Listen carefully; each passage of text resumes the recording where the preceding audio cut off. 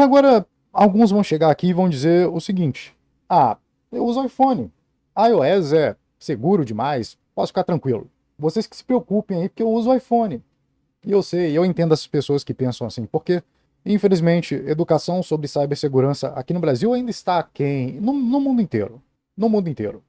Eu faço um trabalhinho de formiga aqui para tentar conscientizar esses indivíduos, mas eu acho que a maior conscientização que esses indivíduos podem ter é ver os outros sendo vítimas. Acredito que ver acontecer com os outros é uma forma de você não esperar que isso aconteça com você. Então você está aprendendo constantemente com o erro dos outros. Tudo que eu vou trazer aqui aconteceu com alguém. Ah, pode ter certeza que alguém foi explorado, alguém foi atacado através dessas falhas. Então, cabe a você aprender com isso, ou virar as costas, tampar os olhos, fingir que não viu e não ouviu nada e continuar como está e se tornar a próxima vítima.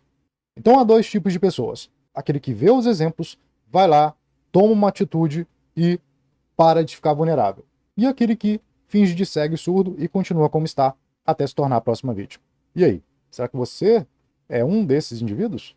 Mas vamos lá, vou explicar aqui mais uma falha desse sistema, mais falhas, mais exemplos de falhas específicas no sistema, que o antivírus não é capaz de te proteger. Microsoft descobre bug crítico no recurso de sandbox do iOS e macOS. Nossa, que fazem? A Microsoft está garantindo que você tenha segurança no seu iOS. É isso mesmo? e é isso mesmo. Isso aqui saiu em todos os portais lá fora. A Microsoft ela está investindo em pesquisa na área de cibersegurança, até porque ela precisa tornar o sistema dela mais seguro devido às críticas, né? E talvez para abafar um pouco os escândalos de falta de segurança no Windows, ela traz à tona insegurança nas plataformas da Apple para desviar um pouco o foco na falta de segurança no próprio Windows, né? Talvez seja por isso que ela esteja investindo tanto em pesquisar aí falha de segurança no macOS, enfim, no, no iOS, macOS e sistemas da Apple, né? Recentemente eu publiquei um corte onde explicava como que funcionava, como que funciona, na verdade, a sandbox do Android. Então, o aplicativo sem a sandbox, ele tem acesso a todos os dados do usuário e recursos do sistema de forma irrestrita. Com a sandbox, ele é limitado a apenas poucos recursos que o sistema permite que ele acesse, e dados do usuário apenas relacionados ao aplicativo, a interação do usuário com o aplicativo. E lá eu disse que essa sandbox ela poderia ser explorada por atacantes, lá nesse corte.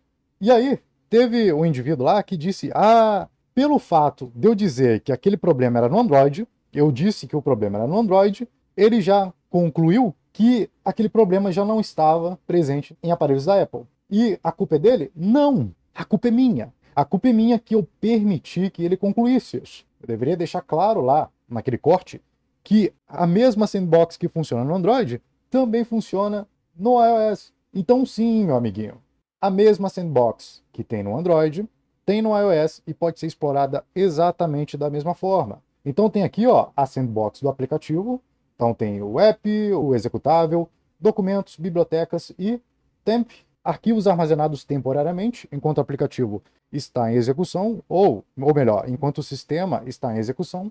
E essa sandbox impede, por exemplo, que atacantes, aplicativos mal intencionados, acessem aqui a sandbox, no caso a pasta privada deste aplicativo.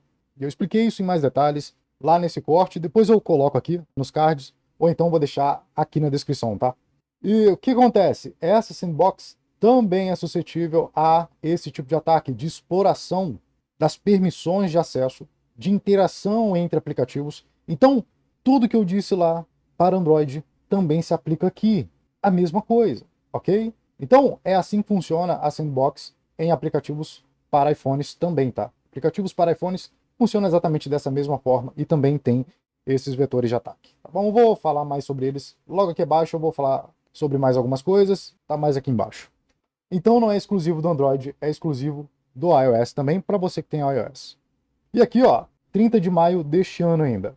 Exploração do macOS encontrada pela Microsoft, ó, de novo, a Microsoft encontrando aí mais uma falha dentro do macOS, dentro de sistemas da Apple, e nesse caso aqui, foi uma exploração que ignorava justamente o sistema de integridade do macOS. um recurso integrado ao antivírus padrão que vem instalado dentro do macOS. Esse recurso ele podia ser bypassado, ele podia ser contornado por um atacante. Então é um recurso de proteção que não estava funcionando muito bem em macOS, de novo, de novo. Então, sim, se você usa macOS e usa iOS, não fique tranquilo, porque você também está à mercê dessas ameaças.